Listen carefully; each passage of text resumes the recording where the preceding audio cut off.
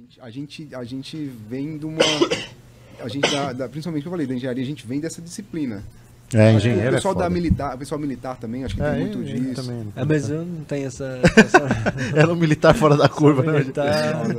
É, eu lembro que tem muito pessoal da Marinha, né, aeronáutica, que pega também muita, muito disciplinado, é muito. É porque a faculdade exige muito de vocês, né, cara? Sim. Exige um pouco, assim. É que, é Bem mais Renan- que o colégio, É que o né? Renan é inteligente, cara. É- Não, não, eu, falo- eu quis dizer, eu quis dizer muito. Exige, mas eu, Exige, né? eu não quis assustar, mas exige bem.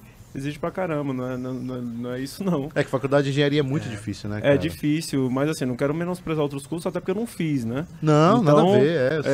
É, mas é muito, assim, exige se dedicar, sim.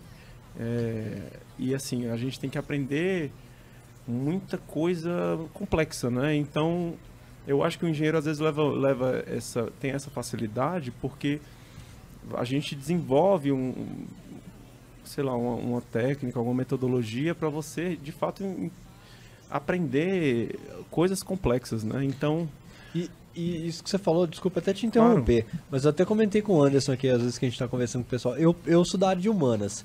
Eu pra- acho pra mim muito mais difícil, cara, aprender coisas de exatas.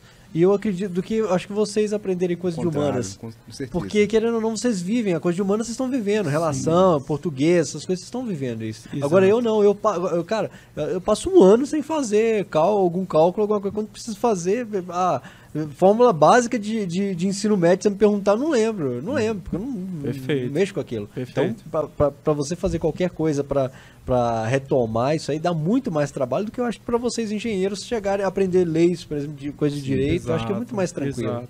Eu concordo. Eu acho que. Você tem uma facilidade bem maior pra isso. Sim, querendo ou não, quando você está indo para a parte de leis e tudo, é, é- vai, tem alguns você tem que entender o que você está lendo, mas é muita coisa que você tem que memorizar, né? E, e isso é válido para todos, né? Mas aí quando você vai para algo que, que existe mais um conceito por trás e tudo, é, uma teoria mais complexa, você vai ter que quebrar a cabeça, pensar um pouco, internalizar, entender o porquê das coisas.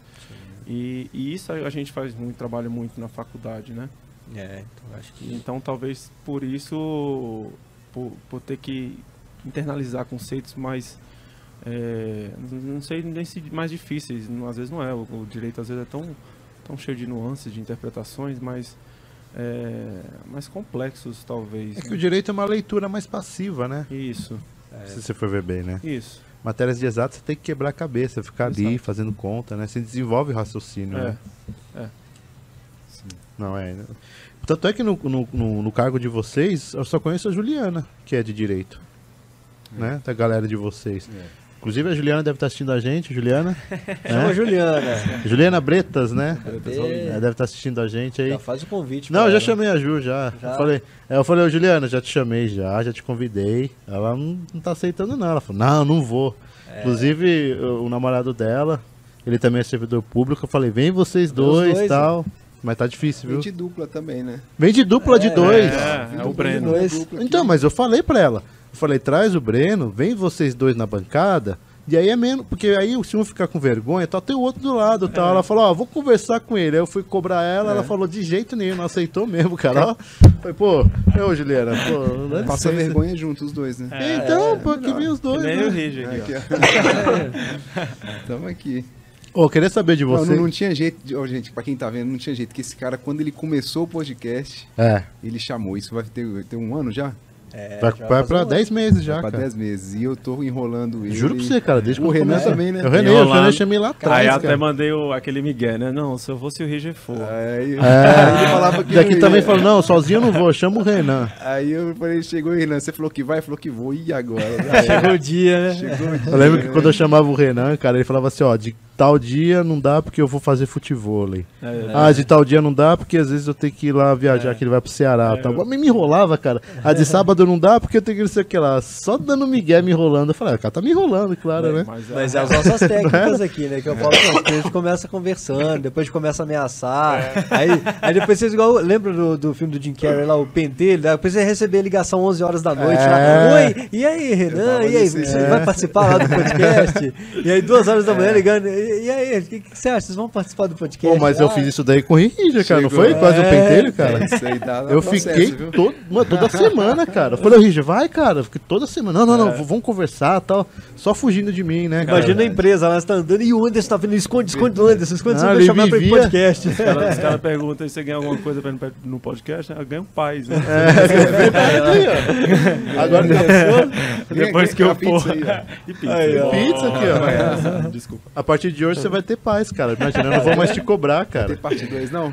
Pô, vamos, tô brincando, é um bora pra prazer, parte gente. Só 2. não vai ter se eu não bater o Duda Daniel, hein? É, vamos ver verdade. como é que vai ter esse dia. Nós vamos, ter que nós vamos ter que trazer ele aqui de novo pra ficar ver. tete a tete. Que, É, que, que que é injustiça. Vocês são dois, ele é um só. Eles vão ver que é uma É, vez. essa Não, treta mas- com o Daniel vai ser pessoal, cara. O que Daniel é um cara muito interessante. bicho. É, difícil bater. Ele tem É, um monte cara, de filosofia. É, cara. É, né? estoicismo lá dele. Ele falou de estoicismo aqui, É, cara. eu não é. sabia. É. Mas ele se preparou também, né? Não, falou. Mas, pô, eu tô cara. chamando há um ano, Ele cara. estudou o edital ali, ó. É. O Daniel falou Tal do de. podcast aqui, ó. Pessoal, se vocês quiserem procurar, procure aí, ó. A entrevista com o Daniel Mor- Sanderberg Mon Moncovo.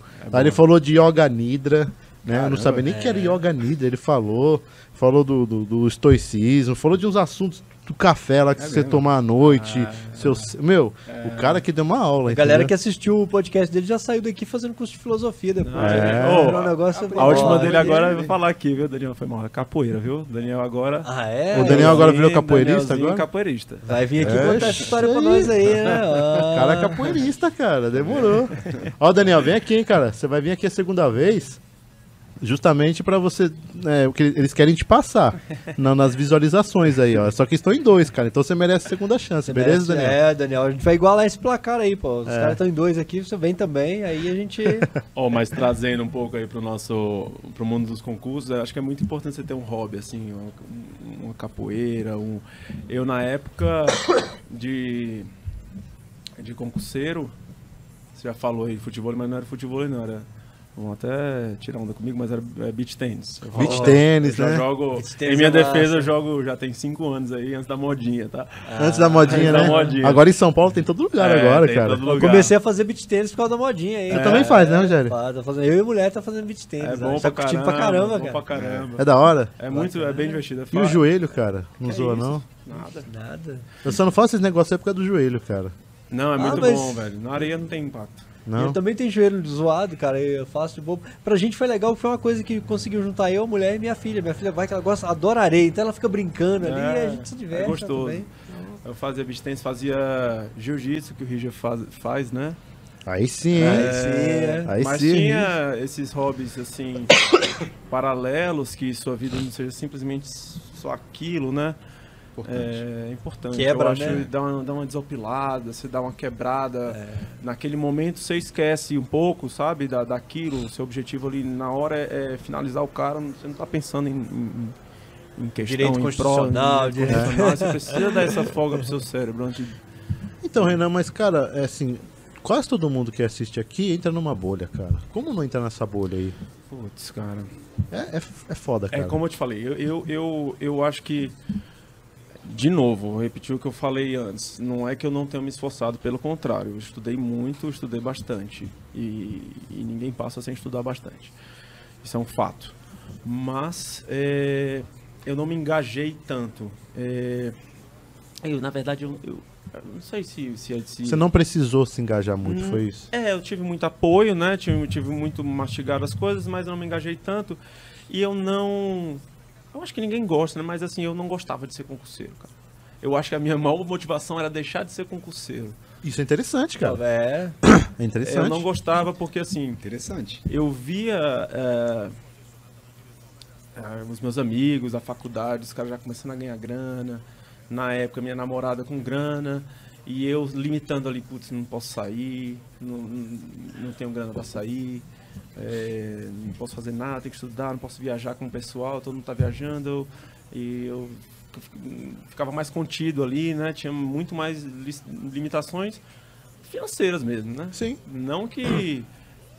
Eu, não, eu venho de uma família é, que sempre me proporcionou tudo, é, é, é, considerada classe alta, né? No, no- especialmente no Ceará, né? Em que é, Muita gente é classe, classe baixa mesmo, então assim, eu sou um privilegiado, estudei em um colégio muito bom, né? Mas nessa fase da minha vida em que saindo da faculdade, as pessoas, meus colegas, vários começando a ganhar uma grana ali, o pessoal começando a, a, a curtir um pouco mais a vida de outras formas, e eu me sentia muito preso ali. Eu, eu não gostava, chegava alguém me apresentar, pô, faz o quê? Eu, ah, eu, eu trabalho ali, eu faço aquilo e tu estudo. Putz, aquilo me incomodava.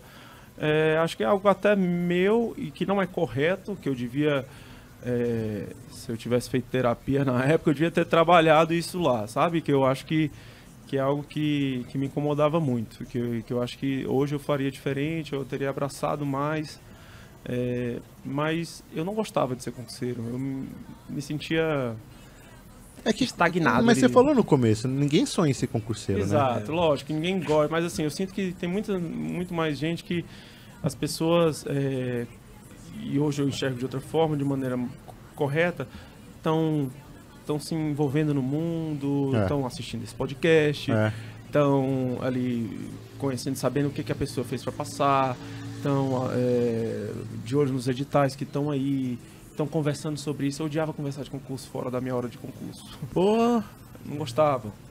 É bem, é bem diferente, né? Sim. É interessante é. isso daí. E, e, e, às vezes, né, que você tava falando, né? A gente talvez tá numa bolha ali e tudo, mas uh, talvez a ideia de estar tá nessa bolha é justamente pra sair dela, né?